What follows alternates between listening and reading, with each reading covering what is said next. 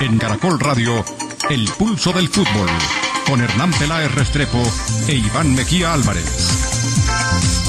Muy buenas tardes a los oyentes del Pulso del Fútbol. En este día jueves 31 de marzo le decimos adiós al tercer mes del año, como el Deportes Tolima le dijo adiós a la Copa Libertadores después de su empate con Estudiantes de La Plata. Y hablaremos del fútbol que continúa. Don Iván, ¿cómo le va? ¿Cómo le Hernán? Señoras y señores, ¿qué tal? Buenas tardes. Bueno, aquí Juan Gutiérrez, para iniciar los correos, dice, prepárense para un parto cada dos meses. Sí.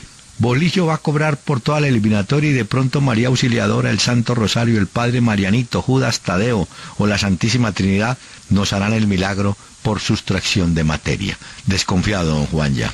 Y peor todavía, Luis Mauricio Castillo Sánchez, Mm. ¿ya? Y nos hace muy largo, entre otras cosas, hay que escribir más corto, joven. Bueno. Eh, nos manda, eh, al final dice, falta, ahora, falta categoría. Dice, no tenemos jugadores, los jugadores son de equipos chicos. Eh, él no cree en nada. En resumen, no tenemos jugadores de categoría ni jerarquía. No tenemos técnico.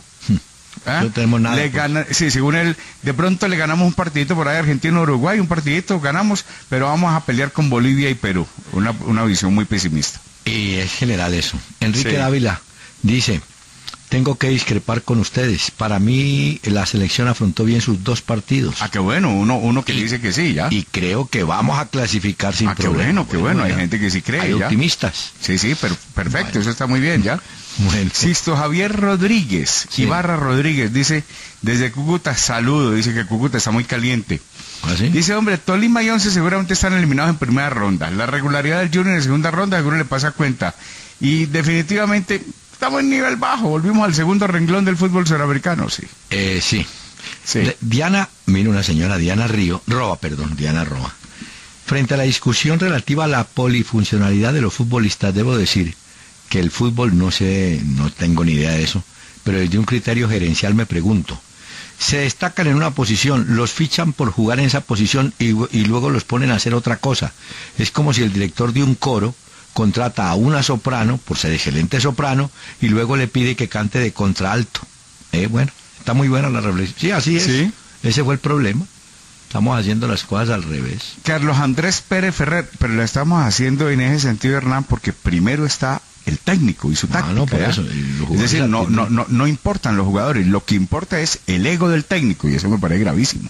No. Volvimos a la época en que no, yo juego a esto y los que tengan tienen que jugar a esto, en lugar de mirar qué material tengo y cómo puedo. No, no tenemos sino una, que es la del técnico. Ese pedazo es el que me preocupa a mí, que el ego esté triunfando. Eso me parece gravísimo. Aquí hay un dato. Carlos Andrés Pérez Ferrer le iba a leer. Mm. Dice que entró a la web de la Conmebol. No Ah, encontró sí. ninguna información acerca del calendario de los partidos, ni el precio de las boletas, ni cómo comprarlo. No se sabe cómo ir a la Copa América. eh, que deberían tomar el ejemplo del web de la UEFA. La verdad que el web de la UEFA es muy buena. El de la FIFA sí que es bueno. Y el web de la Conmebol es, Es muy muy mala. ¿Ah? Mire, Es muy malo. Es lo más parecido No, a pero yo Nicolás digo- Leos, a, pero sabe a que- Rondona. Es Iván, pero malísimo. yo, estoy de acuerdo con el oyente. Si la página existe, por, la, la página es para dar información. Claro. Para contarle al lector, hombre, mire, en tal sitio venden las boletas, ya se agotaron, Hernán, no se agotaron. y- y- el calendario es ¿Y- este. ¿Y, por qué no le hago una pregunta? Para dejársela así. Eh, ¿Usted cree que existe alguna información en la página web de la Federación sobre el Mundial Sub-20? No, pero le digo, no, no, no, no la vi- tendría que mirarla, pero no. No, no, no existe nada, Hernán. No Hombre, existe nada. y Roberto Benítez García dice, el jugador más alto, oiga, pues de Colombia en la actualidad, con dos metros, dos centímetros de estatura, se llama Juanergue Delgado de Armas. Es el tercer arquero del Junior. Nació en Bosconia, Cesar. Dos metros, dos centímetros. A raíz del comentario que hicimos ayer del jugador argentino que iba a debutar en el Medellín. Donny, Donny Rosoff, publicista profesional en mercadeo, manda varias consideraciones ya, pero hay una que me dice, la selección Colombia fue un paquete chileno. No, hombre. Eso dice el señor. Bueno. ¿Eh? Oiga, Tiene Iván. buenos apuntes, parecido a los microlingotes de, Sí. de Alarcón, hombre. Héctor Iván Lozano, eh, no le estamos preguntando, pero aporta, aporta un dato. Pues ahora que Millonarios dice está jugando bien. Los máximos, los cinco jugadores que en la historia de Millonarios han sido más goleadores son, o son los goleadores. Alfredo La Muñeca Castillo marcó 133 goles. Segundo, Arnoldo Iguarán, 121. Tercero, Alfredo Di Stéfano, 96, igualado con Marino Klinger, el cuarto en 96. El quinto es Alejandro Brand, 91. Y mire usted. ¿Brand 91 goles, Hernán? Y Willington No me lo Ortiz. creo. Y Willington Ortiz hizo 90. No creo que Alejandro Brand haya hecho 91 Ese goles. es el dato que tenemos, No, señor. no, entonces coge Hernán porque le, le- le doy un detalle ya. La otro. carrera de Bran no es una carrera larga, la carrera de Bran es, Es una del carrera sesen- eh, aquí del figura 69 que debuta al año 74. No creo en los 91. Puede estar. Eh, son, 60 y- eh, son 69, 70, 71, 72, 73. 74. Cinco años. Cinco años. Cinco- está. son cuatro años y medio, cinco años. En cambio, sí, Para el de 90 Ferrero es goles cierto. hay que ponerle un promedio de casi 20. Alejandro marcaba 5, 6, 7 goles por temporada. Tengo severas dudas de ese dato. Eh, Tiene razón porque, por ejemplo, Ferrero sí hizo 85, con Sí, hizo 85, sí. Morón, Irigoyen, Irigoyen. 80. Sí, no, no, Hernán, con todo respeto al oyente, pero no creo sí que Alejandro equivocó. haya hecho 91 goles y eso sí, pues voy a llamar a Ruiz urgentemente.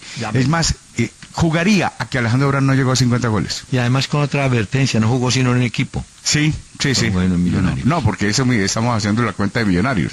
Ah, sí, sí. Sí. Bueno. William Alexander Ramírez dice, ¿no será que Hernán Darío Gómez está poniendo a Dairo retrasado, Falcao y Rodallega solitarios, aislados con el único fin de hacerlos ver mal? No, No, yo no puedo creer eso, no creo que William. el técnico no, haga cre- eso. no creo que Hernán Darío esté en ese plan, no. No, pues, no, que se es esa es una idea de él y ahí es muy Ay, respetable. Iván, que uno no a- la comparte otra cosa, pero es la Sí, idea de él. Aquí hay una foto que me llegó del Deportivo Pereira del año 62. ¿La tiene? No. La Ah, persona- sí, sí, sí, sí. La- Déjeme el abro. Sí, ábralo porque lo curioso de la foto es que el Pereira sí jugó con ese uniforme muy parecido al de Boca, con la diferencia que Sí, la camiseta era aquí roja. la tengo. A ver, a ver, dígamelos pues que no están ahí pues, a ver, la- no digo que la camisa era roja con Sí. la franja amarilla, como Boca. Ah, sí, sí. Arriba de izquierda a derecha, ¿Es no el viejito tengo, Vargas? No, son. ¿quién era? El viejito Vargas, que ya Ah, murió. bien, Iván.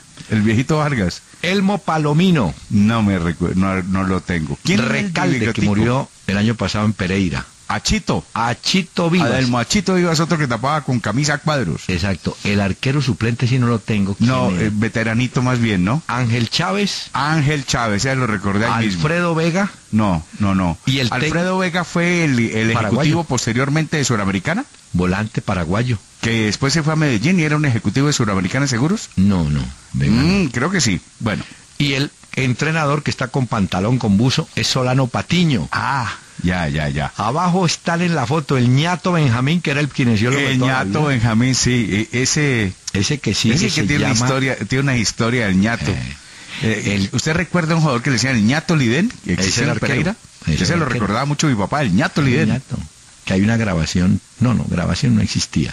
Una narración de un locutor fanático del Pereira cuando tapaba a Oliden, Oliden. Sí, el ñato Lidén. y entonces hay un contraataque y le van a hacer el gol y el narrador empezó Salí ñato. salile ñato Salile. Salí- no salió gol y entonces dijo ñato y no Sí, te Ahí lo dije. echó su bueno ¿Quién sigue? el que sigue es un muchacho samario Donaldo Ramos Ay, el que sigue es Toño Rada Claro, Antonio Rada, ese sí lo distinguí. ¿El, el moreno quién es? Eusebio Escobar Claro, la tromba Eusebio. el que Uy, sigue es ese Onofre tanque, ¿no? Benítez ¿El otro quién es? Onofre Benítez ¿El que pasó por Millonarios? ¿El sapo?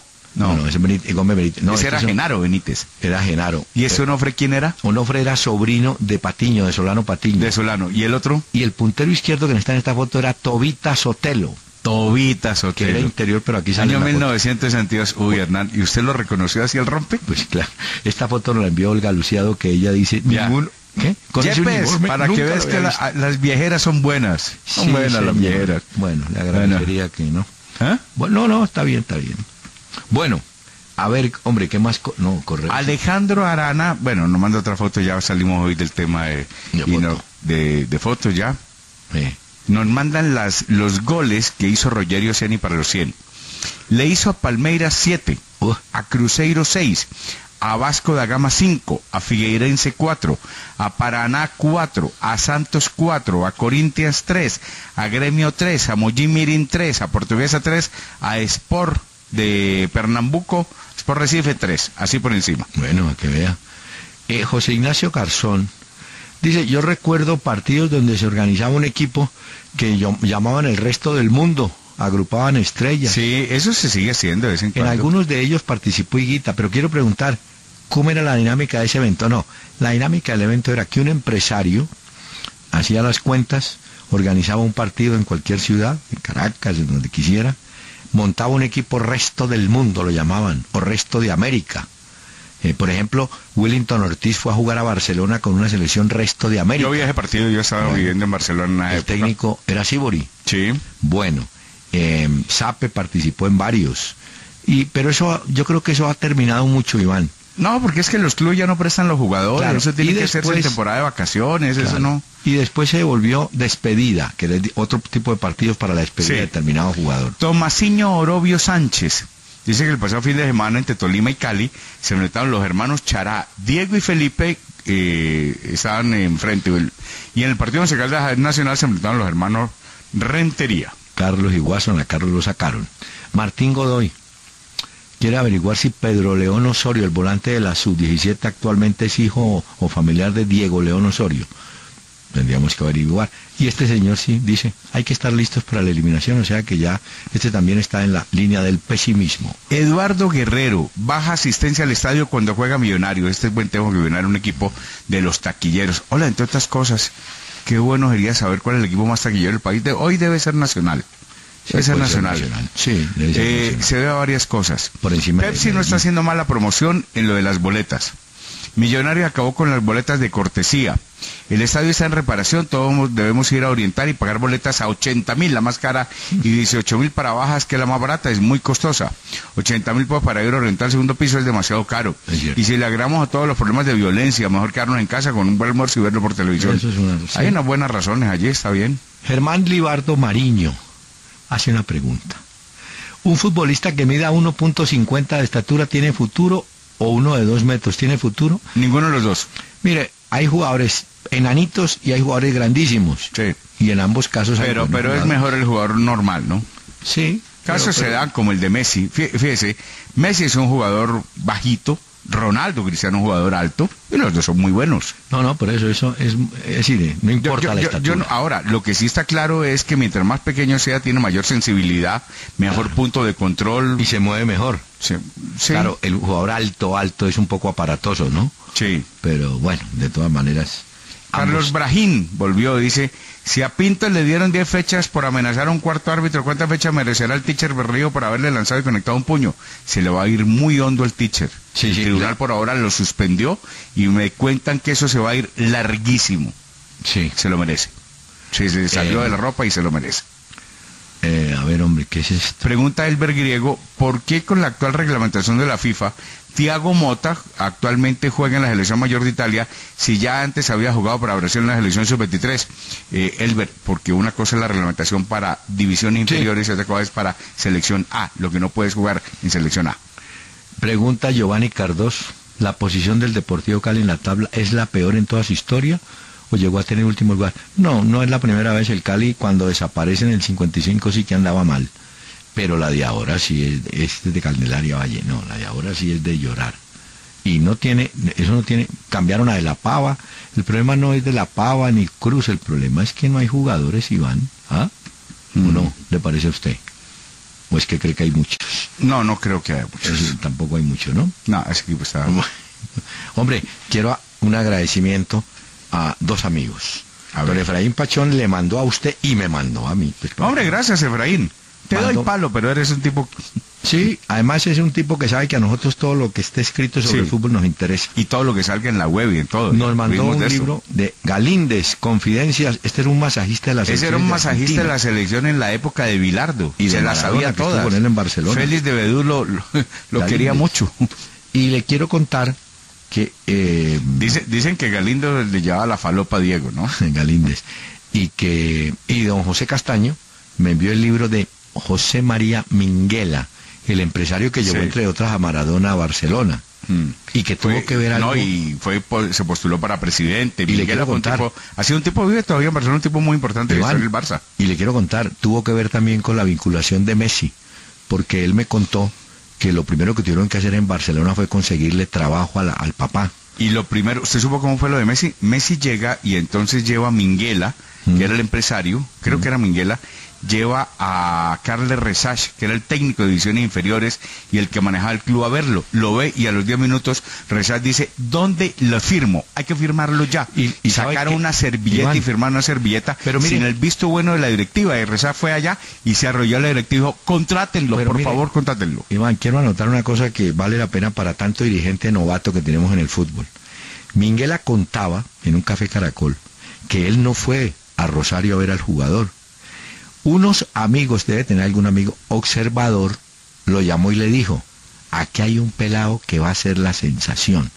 Y dijo Minguela, a ojo cerrado, porque confiaba en el amigo, o en el, sí, en el- mandaron al jugador. Y mire usted dónde llegó. Y, y lo llevaron, pero no había ningún directivo. No, no, nadie. fue el que hizo el contrato Claro, él fue el que lo de la vinculación. Dijo, aunque sea lo pago de mi bolsillo, pero Sí. que se quede, ese muchacho no Es puede cierto. volver. y Eh, así fue como llegó. Y así fue como llegó. Pacho Benítez nos manda, eh, dice que hizo una encuesta. Hmm. ¿Y cuál? Y la encuesta de los peores técnicos que han pasado por el Pereira. A ver. Einar Angulo, No. el Mono Pelufo, César Maturana, Edgar Ospina, Orlando Restrepo, Alberto Suárez, Juan Eugenio Jiménez, Carlos Navarrete. Bueno, Pachito, se sacó el clavo. No, pero todos pues los, los últimos. Y eso que le faltó un paraguas a Faustino Oiga, La este es bueno, pero bueno, Camilo Botero. Este, dice que el señor Camilo Botero dice que estuvo por Barcelona, que se dio una vuelta por el Camp Nou. Hay un museo y que vio que a finales de los 60 murió un jugador uruguayo en actividad llamado Julio César Benítez. sí señor. No Muy lo bien. sabía. Me llamó la atención que en el museo hay más fotos de este jugador que de grandes jugadores extranjeros como Laineke, Romario, Sotil, Kloiber o Neskens. ¿Quién era ese jugador? Yo Iván. no recuerdo, Julio César Benítez. Era un, def- era un lateral uruguayo en la época que estuvo el negro Cubilla también en Barcelona. Ese muchacho murió trágicamente intoxicado, creo que ma- con mariscos, en- y murió en Barcelona. Era un jugador, dicen que pintaba de manera espectacular. Cuando hacemos el recuento de los uruguayos, siempre hablamos de Villaverde, del negro Cubilla, Sí. Hablamos de Alcide Silveira que alcanzó a Que pasar. han sido muy pocos los uruguayos. muy no, poco, no, y no este muchacho, Julio César Benítez. Y Señor, Juan Gutiérrez le mandó un mensaje. ¿Por qué a los billeticos de 50 Mm. eran conocidos con el nombre de Yeritas? A lo mejor por el tamaño tan pequeño comparable a la estatura de Carlos Lleras Restrepo, o porque como ministro de Hacienda en el gobierno liberal, a lo mejor López autorizó su emisión. Eran Yeritas. Pues ¿De qué sí. hablaba de eso? Pero un momentico, no, es que yo estaba hablando, eso fue en el año 55, 56, estaba todavía Gurropín. ¿Así? Sí, no estaban los Yeritas, pero verdad, yo no sé Entonces le van a decían- estar descrestándonos. No, porque yo pero claro, los Lleras llegan después, Alberto Lleras. Sí, sí. Que es el que llega de- al Frente De Nacional. Benidorm y Siches, Sí, exactamente. Pero eh, del Frente Nacional. eso es del 57 para acá. Pero bueno, vamos a averiguar por qué le decían los Yeritas. Señor, una pausa, por favor, en el pulso de Caracol. Este es El Pulso del Fútbol con Hernán Peláez Restrepo e Iván Mejía Álvarez.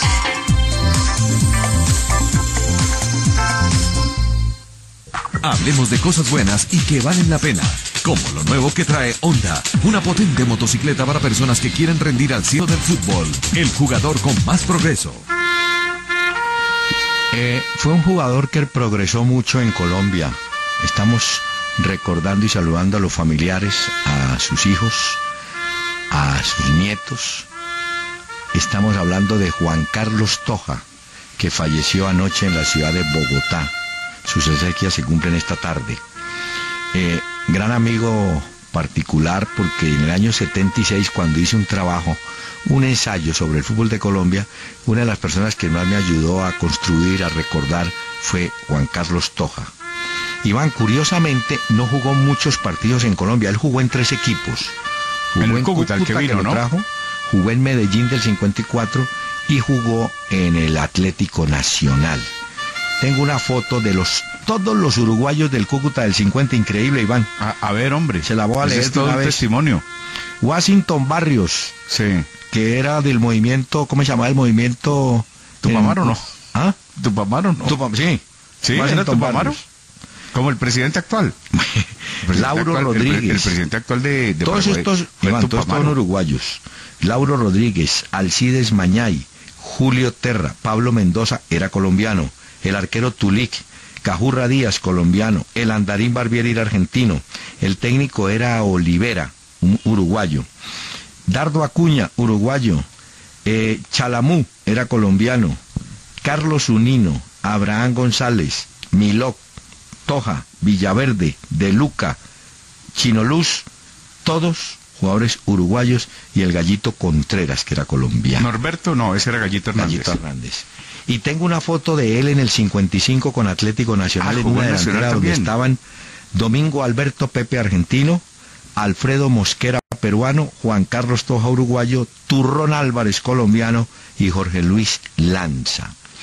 Quiero decirle a propósito de esta foto del 55 al oyente que preguntó cuál era la posición. El Cali fue último en 1955, de manera que no se extrañe si ahora también va por allá del último lugar. Oiga, Hernán, eh, yo conocí a Toja y pues lo, lo, lo vine a conocer, no, no, no recuerdo haberlo visto jugar, seguramente sí lo alcancé a ver, pero no lo tenía en la memoria. En el restaurante donde Juan Carlos Hernández Sí. y Pepe Tevez, allá Allá lo vi, allá me senté alguna fútbol. vez con él a hablar de fútbol, un tipo muy querido, muy simpático. Él- que pregunta normal, ¿qué tiene que ver con Toja? Es el papá de Juan Es el abuelo. Ah, el abuelo de El- Toja. eh, Juan Carlos Toja, el que muchacho de la selección. tiene a su hijo, uno de sus hijos se llama Juan Carlos Toja, y a su vez el hijo de él es Juan Carlitos Toja, por decir para, ¿no? Que es el muchacho que juega en Grecia, o sea, este es el abuelo. Eh, Toja jugó 115 partidos oficiales en Colombia y marcó 61 goles, buen promedio. Buen promedio, sí. Se salió del. Medellín, me contaba él, por pelear con el Charro Moreno. Me dice, el Charro Moreno era insoportable, era un fanfarrón. Sí, a él le decían, en River Plate le decían el fanfa. Bueno, pues me dice, este era un- y se peleó con él, se fue y pasó al Atlético Nacional. Después se retiró y entró a la Laboratorios Bayer, trabajó muchos años en la Bayer, entiendo que inclusive jubilado, pensionado de la Bayer. Eh, un No te pongo excelente- querido, hablaba muy bueno de Ah, fútbol. Y hablaba de fútbol, que era lo bueno. Hombre, Imagina- ya me imagino cuántos whiskachos se metió usted con él. uy, sí, porque él tomaba, tomaba un whisky Un whisky puro. y después una copita de vino tinto. Sí. Y entonces... Y ahí carnita. Hablábamos. Y hablaba. Y fue, yo le agradecí muchas cosas porque, por ejemplo, en un café Caracol, me dijo un día, yo tengo un compañero que vive en México. Le dije, ¿quién? Me dijo, Carlos Milok, que jugó en el Cúcuta. Sí. Pues gracias a Juan Carlos Toja localizamos a Milok en Monterrey, México. Ese era hermano del marciano Milok. Hermano del marciano que fue técnico del Junior varias veces. ¿Cómo está? Eh, ese Carlos Milok tuvo mucho éxito en, en México. Eh, Iván, ¿y cómo sería de malo jugando? Ese bravero ese Carlos Milok, que en el programa que le hice le presentó excusas a todos los familiares de Pablo Centurión. ¿Por qué? ¿Qué Porque le hizo, un día encendió ¿qué a le hizo Centurión Pablo dentro de la Arepas? portería que ahí lo mata. Era bravero. Bueno, Toja me consiguió la comunicación o el contacto con este O muchacho. sea que usted estuvo hoy de funeraria, Sí, hombre, acompañó a la familia y todo muy bien. Patricia, Nuestro sentido. A Jorge Matos, a todos ellos, muchas gracias, porque fue una persona que disfrutó la vida y la vivió. Y Como bueno, toca, Hernán. sí, eso no hay más que hacer. No hay nada más que hacer. Señor, de todas maneras. Hoy estamos, mañana no sabemos. Exactamente, la vida sigue y por supuesto. Y el este- programa también. Y este mensaje que llega a la realidad. Inspirada en el trabajo duro, 5 velocidades, freno de disco y rines de lujo. Nueva CB125E. Conócela en un concesionario Honda.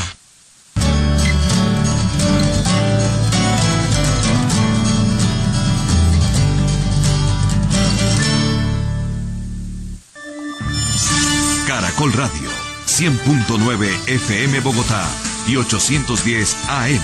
Caracol Radio, más compañía. En Caracol Radio, el pulso del fútbol. Las chicas Águila 2011, embajadoras de todo el sabor, cuerpo y color colombiano, presentan en el pulso del fútbol de Caracol Radio la noticia deportiva. Bueno, hay dos noticias, Iván, del fútbol de Colombia. La eliminación del Tolima. Esa es una. Se Le faltó actitud y le faltó juego al Tolima, le faltó elaboración de juego. Y tu- pero tuvo oportunidad. Sí, y no. pero, pero creó poco juego, Hernán. E- ese 4-4 Eh. otra vez lo tuvo que sacar el equipo de atrás. Chará, faltó con quién conectar.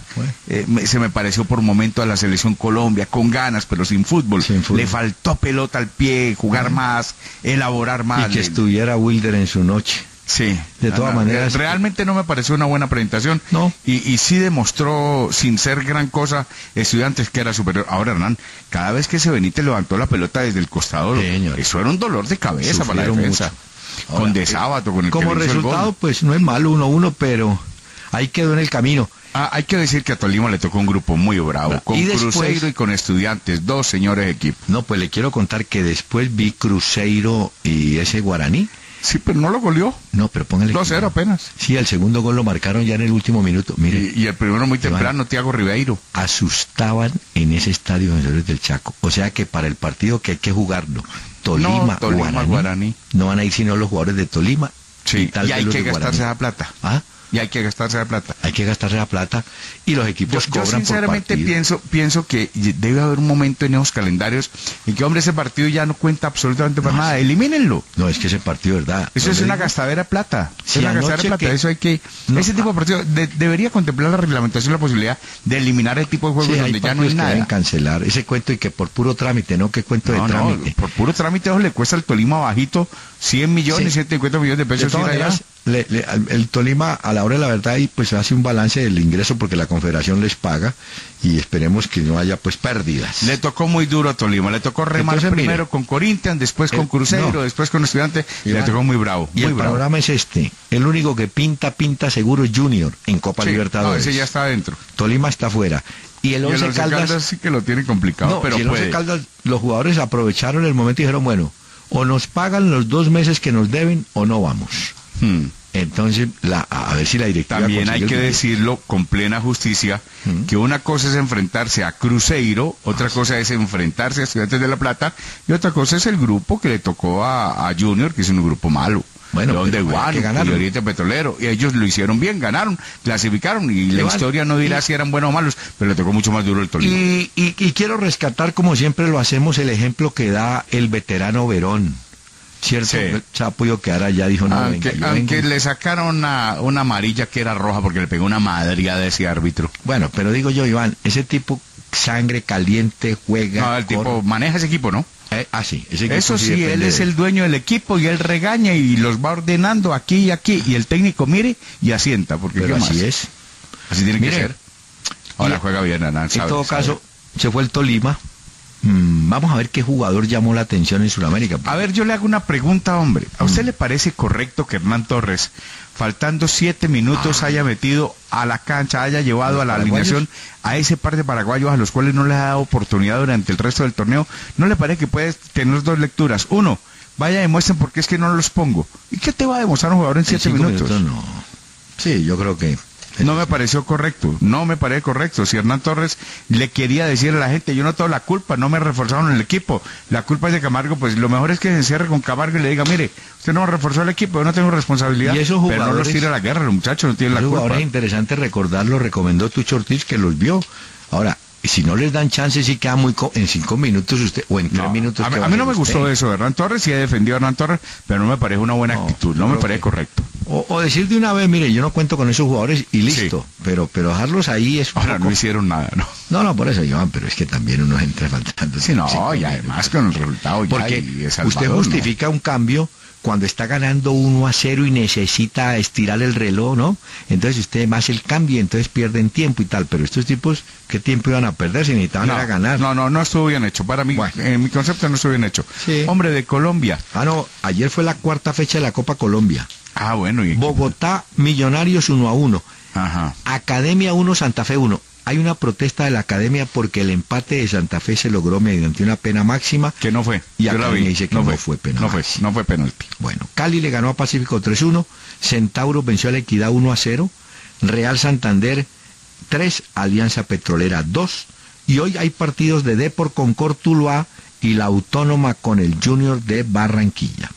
Bueno, Dos temas más de Colombia. La sanción indefinida del cual le hablaba para el teacher Berrío por agresión al cuarto árbitro. sí. eh, de todo torneo. No puede ni en la Copa ni en la Liga, en ninguno. No puede. Están en investigación, ¿no? No puede dirigir, no, se le va a ir mucho más hondo. Sí, claro. Y sancionaron también a Juan Carlos Conde, que es el ayudante habitual del Pecoso Castro, seis fechas por injuria verbal. Eh, hoy a un además oficial. la selección Colombia, la sub-17, no sé si está don Jair Mosquera, eh, juega a las 8 y 10 de la noche contra Brasil. Y además Argentina enfrenta a Uruguay muy temprano a las 3 y media y Ecuador va con Paraguay. Estamos hablando de los partidos del sub-17.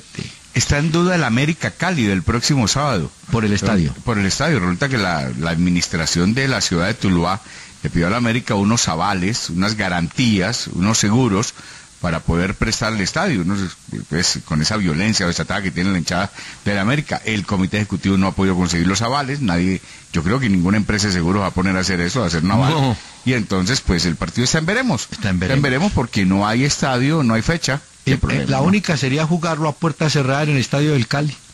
No, en el estadio del Cali no te va a ir el América. No, pero digo, a puerta cerrada. No. Bueno, en todo caso, ese partido, me imagino que aquí a mañana lo resuelven.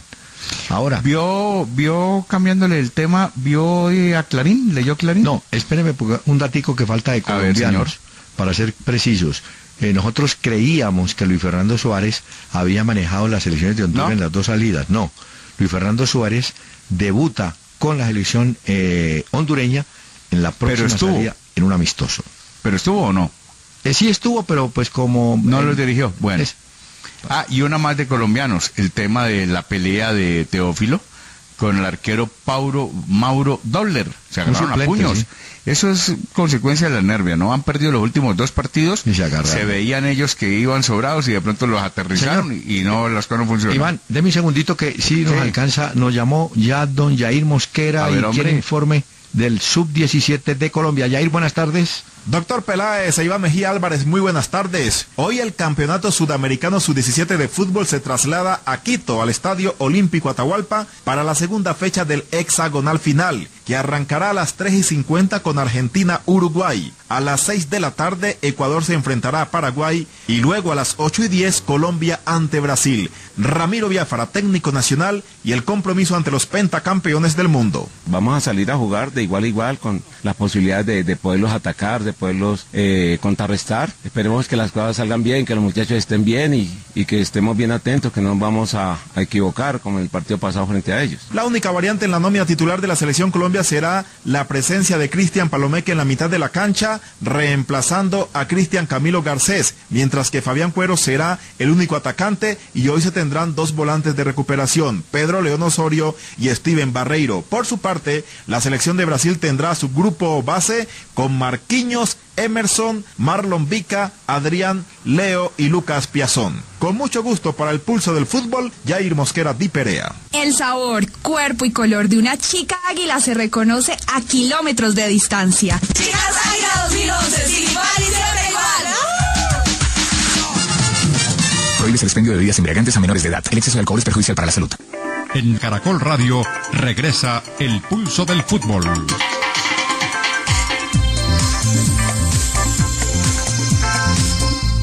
Si existe DirecTV, ¿por qué no ver los próximos clásicos Real versus Barça? En el pulso del fútbol, lo mejor del fútbol europeo. Bueno, Hombre, tengo- eh, le, le- le hacía una pregunta que si leyó Clarín hoy. No, ¿por qué? Salió un buen artículo sobre los carasucias de Lima. Ah, ya. Aquella selección argentina de Corbata, Angelillo, Masquio, Sibor y Cruz, un muy buen artículo de ellos. Bueno. Vale la pena, lo recomiendo a la gente que le gusta Vamos todos a estos Europa, mire. aspectos históricos. Este no hay que tenerlo de compañero, ¿A quién? A ese Balotelli. No, no, no, ese es un loco. No, le voy a decir, eh, eh, es tan loco Iván. Mire las multas que le han metido. Le metieron 113 mil euros Sí. porque le dio por tirarle dardos con cerbatana a jugadores juveniles del mismo equipo. No, está loco. Entonces le dijeron, mire joven, eso no se hace, 113 mil. Pero ya le habían metido otra multa de 226 mil euros cuando se hizo expulsar en un partido contra el Dinamo de Kiev. Pero claro, si el eh, perdieron 2-0, estaban jugando y el tipo va y pega una patada Sí. a lo kung fu y se hizo expulsar y con eso es un loco, hermano, O sea es que- un loco y, se había comido una opción No, de gol no solito, tanto. solito. O sea que en multas ha pagado 300 mil no, no, euros. Debe ese ganar tipo mucho. no, no tiene, no tiene... Ese no tiene arreglo. Hombre, Oiga, eh, eh, lo que no pasó nada y a mí me queda la sensación de que fue toda una jugada y una maniobra. Messi llegó a Barcelona, sí está un poquito cansadito, pero no tiene absolutamente nada. Está confirmado para el partido del sábado. Entonces comienza uno a, a- maniobrar y a pensar y dice, esto fue toda una jugada entre el Barcelona y Batista. No, que no lo pongo porque el problema de lesión, nos comemos todos el cuento, pero el jugador está bien. Y, y eso lo que ha causado es una indignación mayúscula en Costa Rica, donde pagaron un caché muy alto por la selección argentina con Messi y no lo pudieron ver. Los tumbaron. es lo mismo que pasa con el jugador Vela, el mexicano, ¿no es cierto? Sí. Hay pro- él está en Inglaterra, creo. Ay. Sí, sí, él era del Arsenal, lo Bueno. traspasaron, lo prestaron. Están protestando porque él dice que lo está, están exagerando en el trabajo del jugador. Claro, porque los equipos en esos jugadores para dos partidos. Y entonces los riesgos, fíjese que en el caso de Zúñiga, Iván regresa al Nápoles lesionado. Sí. Entonces, Y Soto se fue lesionado. eh, y Soto se fue lesionado. Entonces, el asunto les complica. Hombre, ¿sabe qué no hemos dicho? Que lo encontré. ¿Qué? El ecuatoriano Alex Aguinaga, ¿Es nuevo técnico? del Barcelona de Sí. Guayaquil. ¿Es nuevo que- técnico del ¿Y Barcelona? no sabe quién es el asistente? No. El zurdo López. Ah, ah, que lo Llegó- tumba. Claro, porque Aguinaga había trabajado con Ah, el zurdo en. México. Eh, ¿Ya, ya se les acomodó el zurdo por allá? El zurdo está en el. Ese sí es un vivazo muy Un grande. abrazo para Miguel Ángel Sí. López. Hola, Señor, Hernán, ¿usted qué opina de esta frase de Valdano? ¿Le parece justo que dice, el Madrid no es un club para menores? ¿Cómo así? Mientras el Barça toda su gran campaña y su historia sacando jugadores de la cantera Ah, allí, ya. ¿ah? Sí. Valdano sale y dice, el Madrid no un club para menores para justificar que el Madrid no saque. Y entonces cuando salió la quinta del buitre, Ah, que pues. Valdano fue el que la llevó, Señor, entonces que en esa época sí era para menores, no entiendo la contradicción. años. ¿Ah? Eh, hace muchos años. Es como aquí en Colombia. Tenemos claro que el Envigado no, el Envigado es para jóvenes. Hmm. El Envigado sí es para jóvenes. Óigame, Iván. Ah, no, permítame por favor este mensaje y continuamos. Te viene Cristiano Ronaldo en feroz carrera de ataque, descuenta Dani Alves, ataca el Capipuzol que queda sembrado en el camino. Pero ¿quién le gana hoy a Cristiano, viejo? Que lo metan a la cancha ya. Mano a mano con Valdés, héroe o villano. Cristiano lo saca, patea el marco y Messi se tira en paloma y de cabeza envía tiro de esquina. Señoras y señores, minuto 63. Madrid 2, Barça 2. Si existe DirecTV, ¿por qué conformarse con oír los partidos? En abril se juegan dos clásicos en cinco días. Vívelos en exclusiva, solo por DirecTV. Entra ya a directv.com.co. Hola, Iván, los El tipo equipos que hace la europeos- publicidad de DirecTV es enfermo del Real Madrid. Siempre pone el Barcelona Bueno, a pues, sufrir, a que lo goleen. Es enfermo el Real Madrid. Mire, que los equipos europeos, los grandes equipos europeos, ahora dependen del billete lejos. Sí, pero por supuesto. ¿Cómo le parece que el 1860 Múnich, Sí. el equipo que en Que compañía del Beckenbauer Bayern- hace poco dijo que había que salvarlo. no, por eso, compañía del Valle representan a Múnich, hoy tienen una oferta desde el Golfo Pérsico. ¿Así? A ver quién, ¿Más arabitos? no, quién sabe cómo salvan al equipo. Pues yo le tengo una más grande todavía. El tipo se llama Tomás Di Benedetto. Es el nuevo dueño de la Roma. ¿Ah, sí? Quieren a Milito, quieren a Mascherano, quieren a Alexis Sánchez. ¿Pero de dónde es el señor? A Edison Cavani es un gringo. Ah, es un gringo. Un gringo compró la Roma. Mm. Y quiere, además les dijo, voy a armar un equipo de primerísima línea, pero aparte de eso, a construir un estadio, porque la Roma debe tener estadio propio. Pues sí. Hombre, Ah. hay preocupación en Uruguay del maestro Tavares. ¿Por qué? Los dos arqueros, Mulera y Castillos, hicieron goles ahora, Si no, no Castillo andan bien de porteros. Y ellos siempre han tenido buenos porteros. pero no.